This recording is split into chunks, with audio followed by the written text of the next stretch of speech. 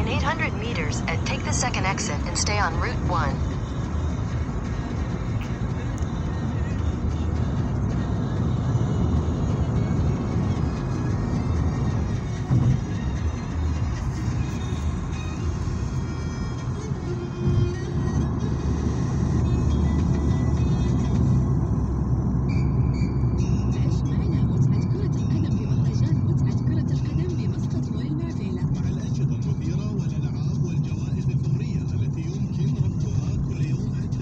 اعمل حسابك تيجي تاخد من عندك مرافعة